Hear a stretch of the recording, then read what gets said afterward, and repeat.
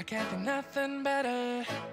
than spending my day with you. My life is sunny and better.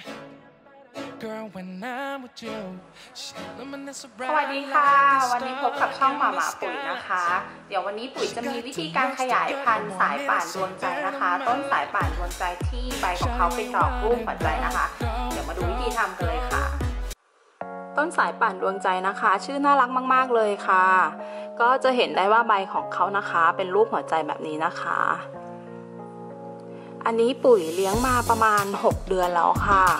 ก็เขาก็ดูแข็งแรงดีมาก ๆ เลยนะคะ ก็ลดน้ำ2ถึง3วันครั้งหนึ่งอะค่ะ หรือว่าเราจะต้องสังเกตตรงที่หน้าดินนะคะ พอหน้าดินเริ่มแห้งแล้วก็รดน้ำเขาค่ะ แล้วก็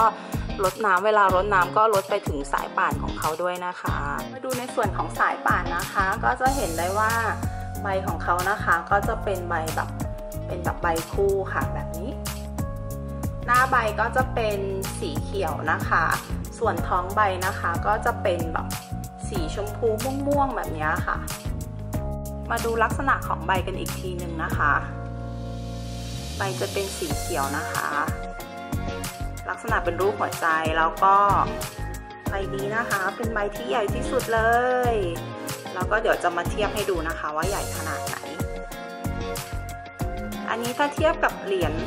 หนึ่งโครนของนอร์เวย์นะคะ โอ้โห ก็คือใบใหญ่มากๆอะ่ะ แล้วก็ลักษณะของใบนะคะ เวลาที่จับดูเนี่ยเขาจะรู้สึก ใบของเขาจะตึงๆอะค่ะ แล้วก็มีความนุ่มนิดนึง แล้วก็จะรู้เลยว่าถ้าจับดูจะมีความฉ่ำน้ำมากๆ กระถางสำหรับปลูกนะคะ ก็จะเป็นวัสดุที่ระบายน้ำได้ดีนะคะ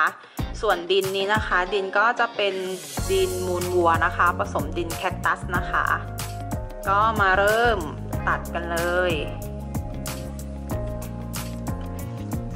สายป่านเขาก็จะยาวๆอย่างนี้นะคะ ก็จะเลือกสายที่ยาวที่สุดเลยนะคะ เพราะว่าเขาก็ดู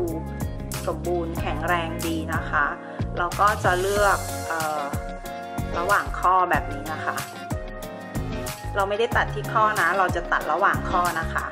ก็คือปุ๋ยเลือกอันนี้นะคะ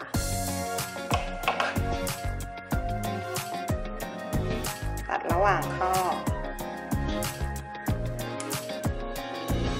ค่ะ พอเราตัดนะคะก็จะเห็นว่าเขาจะมีน้ำใส ๆ ออกมานะคะแบบนี้ แล้วทีนี้ก็จะตัด ตรงนี้ด้วยนะคะ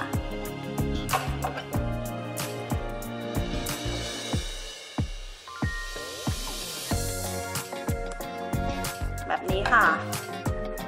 เพราะว่าเวลาที่เราเสียบเข้าไปในดินแล้วนะคะ ก็จะมีรากเกิดมาจากตรงนี้ด้วยค่ะ เอาวางไว้ตรงนี้ก่อน จะตัดอีกเส้นหนึ่งนะคะโอเคค่ะตัดระหว่างข้อของสายป่านนะคะ ตัดตรงกลางแบบนี้ก็จะมีน้ำใสๆออกมานะแล้วก็ตัดตรงนี้ แล้วก็ อ้าวได้สายป่านสองเส้นแล้ว มาดูวิธีปลูกนะคะ ก็จะทำหลุมให้เขานะคะ แล้วก็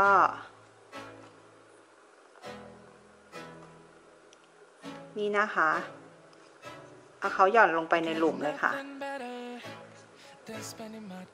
แบบนี้เอาสายลงมาตรงนี้ก่อน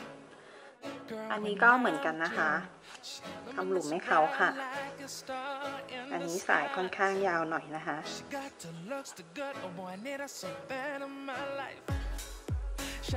แล้วก็กดดินลงไป แบบนี้นะคะ แล้วทีนี้สายเขาจะยาวแบบนี้ สายป่านเขาจะยาวแบบนี้ เราก็จะม้วนค่ะ ม้วนแล้วก็กดเขาไว้ ข้างในกระถางแบบนี้นะคะ เพื่อที่จะดูแลง่าย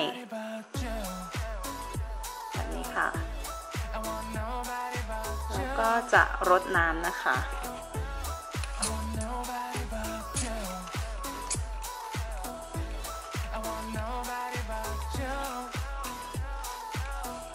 รดน้ำให้ชุ่มนะคะ วิธีการดูแลนะคะ ปุ๋ยก็จะวางไว้หรือว่าแขวนไว้ในที่ที่มีแดดรำไรนะคะ จะไม่วางไว้ในที่ที่มีแดดแรงเกินไปนะคะ เพราะว่าอาจจะทำให้ยอดอ่อนของเขาเสียหายได้นะคะ แล้วก็สำหรับวิดีโอนี้นะคะ วิธีการปลูกก็เสร็จเรียบร้อยแล้ว เดี๋ยวพบกันใหม่วิดีโอหน้านะคะ บ๊ายบาย